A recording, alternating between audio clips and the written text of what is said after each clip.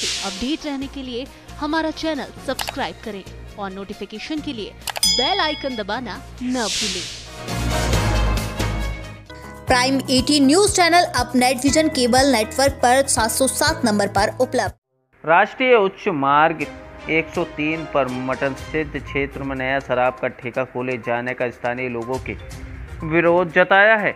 महिला मंडल मटन सिद्ध की महिलाओं ने शराब ठेके के बाहर बैठकर धरना दिया और ठेके को बंद करने की मांग की है। वहीं महिलाओं के धरने पर बैठने पर मौके पर पुलिस पहुँची और आबकारी कराधान के अधिकारी भी पहुँच गए। ग्रामीणों का साफ़ तौर पर कहना है कि शराब ठेके के खुलने से लोगों की दिनचर्या प्रभावित होगी और ग्राम पंचायत प्रधान ने अपनी मनमर्जी से शराब ठेका खोलने के लिए एनओसी दे रही है। अ, मेरा नाम है अंचल सिंह पटियाल। मैं इस पंचायत का वाइस प्रधान।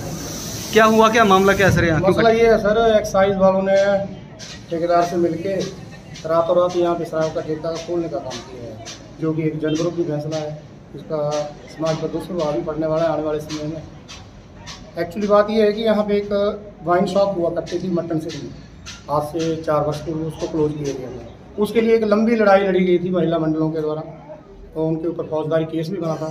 फिर बाद में उसका पटाक्षेप हुआ कंप्रोमाइज़ करके। तो वो इसीलिए उठाया था कि भविष्य में यहाँ पे शराब का ठेका ना खोला जाए। इसमें क्या है कि पंचायत की प्रधान ही इशू करके एन तो उसने बिना किसी सहमति से, बिना प्रोसीडिंग प्रस्ताव डाले, बिना किसी बाढ़पन से नहीं पूछा, वो प्रधान से नहीं पूछा, अपनी मनमर्जी से ठेकेदारों के प्रेशर में आके उसको एन इशू करवा दिया। तो यही हमारा विरोध है।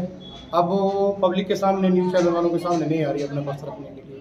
सेक्रेटरी साहब से भी बात करवाई है पुलिस की। उन्होंने बोला कि ऐसा मैंने कोई प्रस्ताव नहीं डाला है अपने रजिस्टर में। तो ऐसा गैर कानूनी और मनमाना काम किया है जिसके नतीजे आने वाले समय में खराब ही होंगे। सर प्रधान कौन आपके यहाँ पे?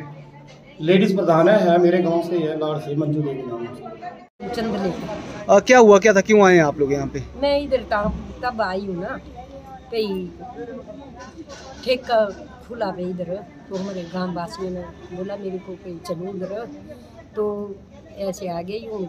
कि अब तक प्रधान ने दिया होगा लिख कर है ना? तो ऐसे है हमारे को एक दिन एक बार उसने बोला हमारी को पे ठेके खुल रहे तो क्या करना? इधर खुलवाना है फिर हमने नहीं किसी ने भी बोला। फिर मैं उसको इनकार कर दिया भाई मैं नहीं लिख कर दूँगी। तो मैं सैर करूँगी पे। मैंने हमें पहले भी केस लड़ाया है। लोग क्या चाहते हैं तो लोग ऐसा चाहते हैं भाई इधर नहीं खुलना चाहिए। बस।